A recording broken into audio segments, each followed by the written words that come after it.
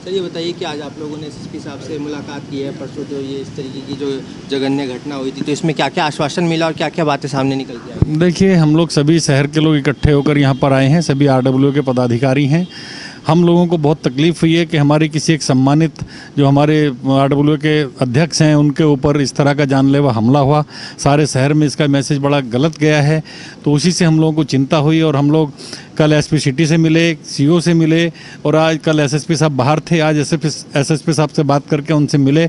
उनको हमने सारी शहर की व्यवस्था से अवगत करवाया कि किस तरह के वहाँ पर हालात हैं, किस तरह से लोग घबराए हुए हैं। तो उन्होंने वादा किया हम लोगों के साथ कि बिल्कुल भी घबराने की ज़रूरत नहीं है।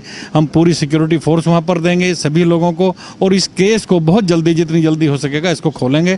तो उन्होंने आश्वासन दिया है कि बहुत जल्दी जो भी हमलावर हैं वो सलाखों के पीछे होंगे। सर, इसमें कुछ क्लू निकल के सामने आ पाया कि किसकी तरफ़ से हमला किया गया और क्यों किया गया? देखिए, ये अभी पुलिस का विवेचना का काम है। पुलिस इस पर जाँच कर रही है। अभी हमारे पास इसका कोई लेटेस्ट डेवलपमेंट उन्होंने नहीं दिया है कि क्या निकल कर आया इसमें।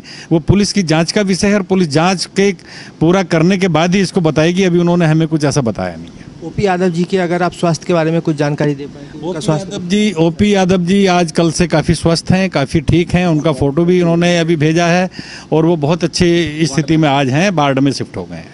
बहुत बहुत धन्यवाद। Thank you